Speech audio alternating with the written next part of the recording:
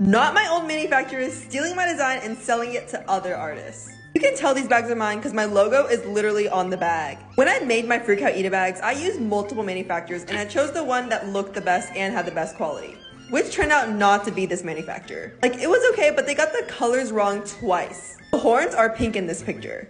I had a lot of problems with this manufacturer not listening to me, so that's why I stopped working with them. And I guess they want their revenge now because they're selling my design. But I feel bad for whoever ends up buying it because those bags were ugly.